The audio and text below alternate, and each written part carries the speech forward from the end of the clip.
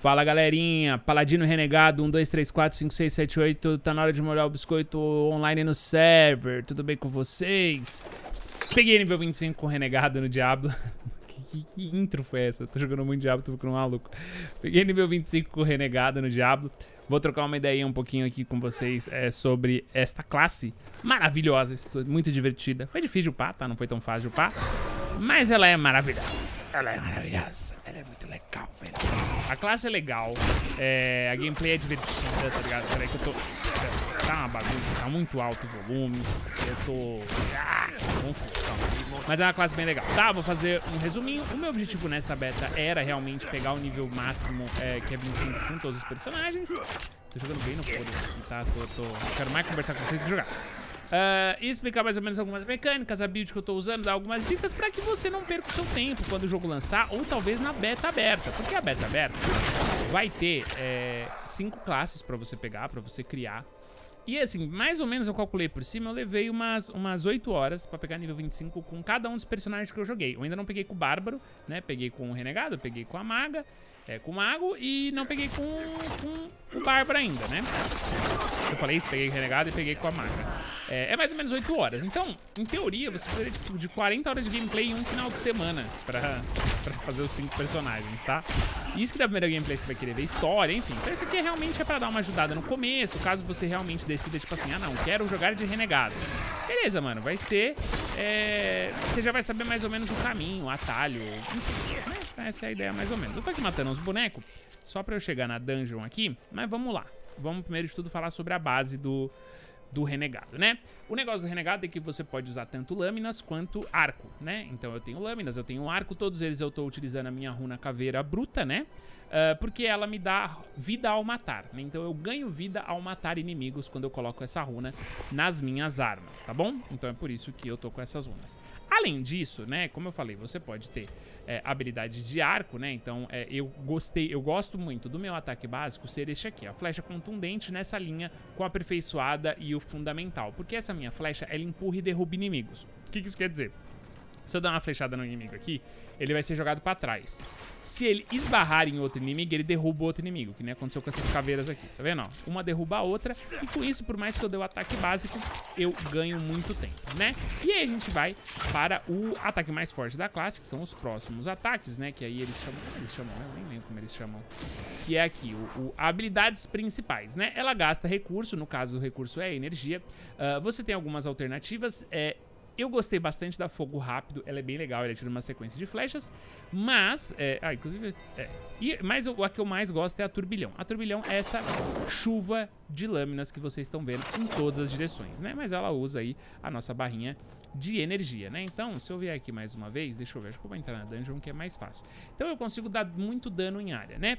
Uh, nos inimigos e machucar eles, mas eu uso essa energia, né? O pessoal recomenda, eu vi bastante recomendação, é de pessoas que gostam de Diablo, que são bons jogadores, a utilizar na habilidade básica, a você focar, ou você fazer só flecha ou você fazer sua faca. Eu acho que assim fica legal, é o melhor dos dois mundos, você encara boas boss fights, uh, e eu acho que pro PVP vai ser interessante. Mas tem uma galera, por exemplo, que faz a build só de faca, e aí coloca essa habilidade aqui, que é o golpe revigorante, porque ele te faz ganhar a energia que você usa na outra habilidade. Enfim, a versatilidade é muito boa, essa linha que eu recomendo. O que, que eu recomendo além disso, mano? Depois eu upo tudo, você viu? Eu pego 5, 5, tananã, e aí só quando chega aqui embaixo que eu coloco imbuição de sombra. Imbuir é literalmente, mano, molhar as suas lâminas, seja a flecha, seja as, as, as facas, né? Uh, em algo e aí você imbui em sombras. E o que acontece é que quando eu faço aquela linha do imbuir em sombras, eu, eu gero uma explosão se eu matar um inimigo que esteja sofrendo dano de sombra. Pior que eu acho um cara nessa DG aqui, deve ter matado... Ó, mas resumidamente é isso aqui, ó. Imbuir em sombras, bate neles, ó, eles explodem, tá vendo? E aí eles dão um dano em área absurdo, né? Em resumo, a minha, a minha batalha é isso aqui. Mas o que é legal do Rogue, né, do Renegado? Ele é um assassino, né? Ele é um personagem pra dano focado, pra velocidade e tudo mais. Então, por exemplo, se quando no PVP tiver um inimigo aqui atrás que quer pegar, eu tenho algumas opções de movimento muito rápido. Tem essa que eu tô usando, que é esse dash, né, que aplica o meu imbuir nos inimigos também. Você tem um ataque que se joga lá pra trás do inimigo, de um alvo em específico, enfim. Então ele tem uma versatilidade bem legal. Outra coisa... Ah, sorte do vídeo. Outra coisa bem legal que tem aqui no, no... Nossa, meu microfone tava baixo, né? Mas eu acho que deu pra ouvir. Mas eu aumentei agora, desculpem. Minha, minha mesa de som tá dando uma agarradinha no, no dimmer do microfone. Uma coisa que é bem legal, ó, eu vou, eu vou... Percebam que eu vou apanhar, né, ó. Ó, me bate. Certo? Apanhei. Nossa, apanhei. Mano, vocês viram já que só de colocar a runa eu curo. Mas além disso, é, eu tenho como colocar skills que cada ataque crítico que eu dou, eu recupero vida. Então, meus amiguinhos, às vezes antes de matar o inimigo, eu já me healei. E quando eu pulo numa wave muito grande de inimigos, né? Então eu deixo eles vulneráveis, e aí eu consigo acertar muitos críticos, mato muitos inimigos ao mesmo tempo, a minha vida ela nunca abaixa, mesmo sem eu utilizar pots. E eu acho que isso é muito legal dessa build. Uh, então eu consigo né, apesar de ser um personagem em papel, ele vai ficando mais forte. Patife, como que você fez isso? A princípio, coloquei, né, é, caveirinha em todas as minhas armas, mas tem uma habilidade também, que ela é daquelas habilidades que fica mais escondidinha, que ela fica logo aqui, ó, perto aqui do, do turbilhão, você tem aqui, ó, golpes drenantes, né, que cura 2% da minha vida máxima ao desferir um acerto crítico. Parece pouco, mas a gente tem que lembrar que quando você entrar no meio tipo, de 8, 10 inimigos que seja, e você às vezes der uma rodada de crítico, né? Que eles vão estar tá vulneráveis, eles vão estar tá imbuídos, mano, todos eles vão te dar, tipo, 2% mais ou menos, né? Isso que a gente tá no level cap aqui da beta. Então o que vai acontecer, mano, é que, tipo, 10 inimigos vão te dar 20% da sua vida em um ataque muito rápido. Quando você matar eles, você ainda vai ter o bônus da arma, né? Então, e tem outros bônus que as armas vão dando. Então, assim é um, eu, eu, gostei muito da, da build de, de, de roubar vida, né? De, de, se manter vivo e porque você consegue daivar nos caras. Toda a experiência com o Rogue é muito divertida. O jogo fica muito mais um action RPG. Você tem que se posicionar bem, você tem que é, montar algumas estratégias bem mais difíceis. Ó.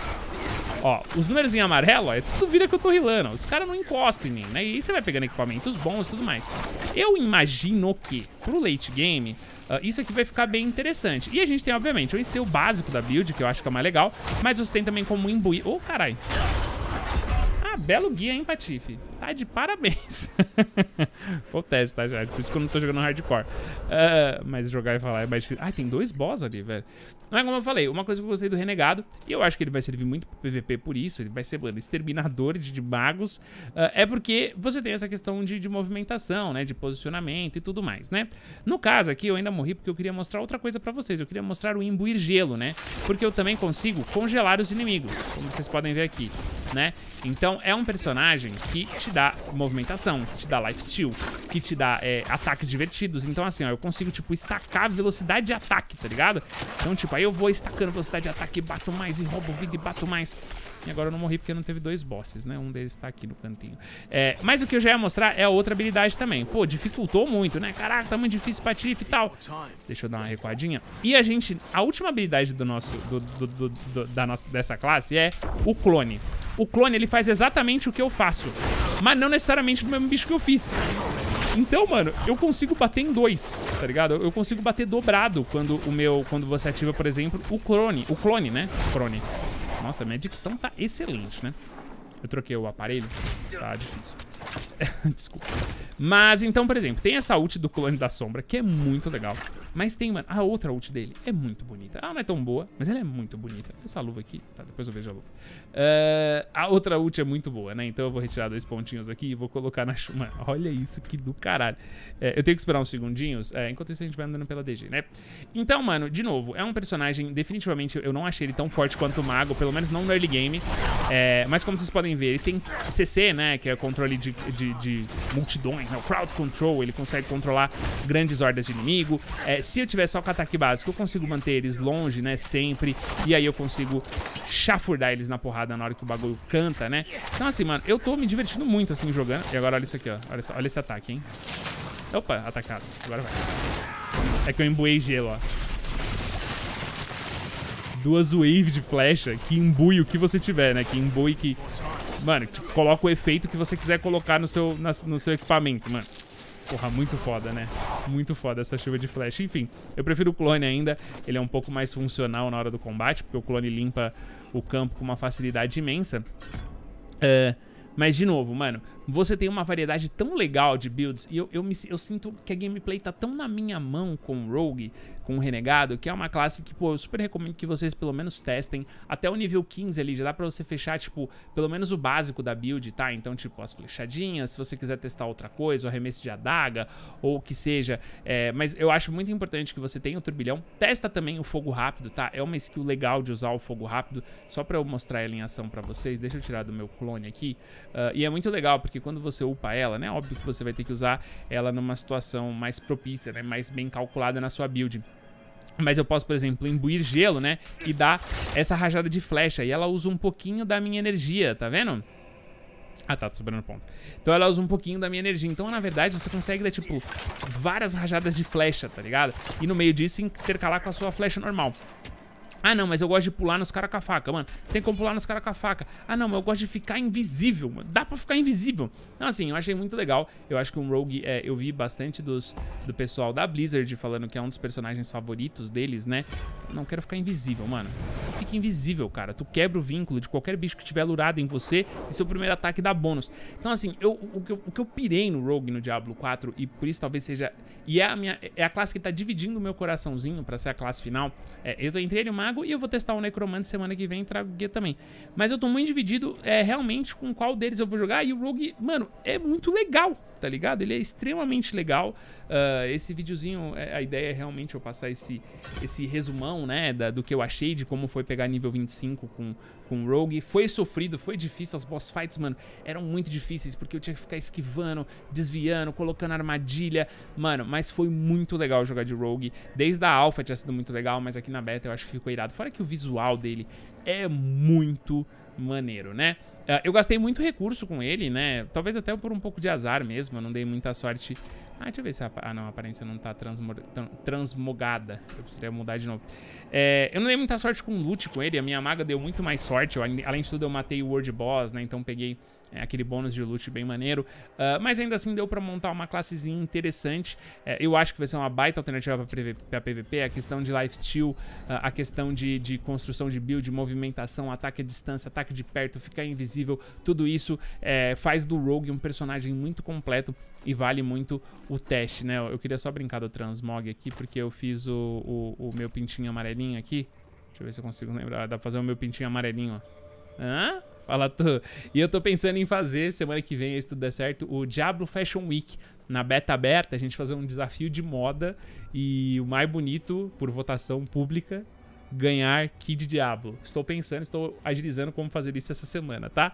Mas enfim, mano, a gente vai acabando esse vídeo por aqui. É mais pra ser um resuminho mesmo das minhas impressões. Se vocês quiserem mais comentários, mais alguma coisa, mais dica, algo mais pontual, é, eu posso me comprometer aqui a fazer, a princípio, né? Com o material que eu tenho, das lives, desses vídeos. Uh, mas no geral, é só realmente agradecer aí por toda, toda a força. Essa semana vai ter mais um pouquinho de conteúdo de Diablo, né? Até a beta aberta. Uh, que a ideia é realmente eu cobrir pelo menos todas as classes, né? Quase todas todas. Eu não sei se eu vou, por exemplo, conseguir fazer o druida e o bárbaro, mas eu vou tentar. Uh, para que Pra mais perto do jogo, a gente tá pelo menos mais bem posicionado na hora de começar, né? Pra quem for começar o jogo no lançamento. Enfim, vamos nos falando. Se tiver algum comentário, manda aí. Me manda suas impressões de Rogue, você que jogou. Eu acho que seria muito legal você, por exemplo, dar dica de bicho. Tem um pessoal que falou arco de gelo, realmente parece que fica muito forte. Uh, a build de lâmina com sangramento, que é mais ou menos o que eu fiz, né? Eu fiz um híbrido. É, de todo jeito, é um personagem que eu recomendo porque ele é muito versátil. Uh, não tão forte, as mecânicas ficam muito claras, caras, é, é, é, claras, e eu imagino que no PVP ele vai ser muito bom. Fechou? É isso, impressões rápidas dessa beta. É, muito obrigado a vocês que assistiram. Em breve sai o vídeo do Mago, nível 25, né? Eu fiz um vídeo mais ou menos uma buildzinha básica ali. Eu queria no primeiro dia postar mais ou menos o caminho que eu ia seguir com o Mago. Mas daqui a pouco vem as minhas impressões do nível 25 da Maga Magali. O meu renegado, ele chama Renegado. Desculpa. É isso, meus queridos. Obrigado pelo carinho com o, Diablo. Vocês são incríveis. Eu estou ansiosíssimo pro jogo. Vai ter bastante conteúdo quando o jogo lançar. Fechou? É, tamo junto. Um beijo. Até a próxima. E tchau.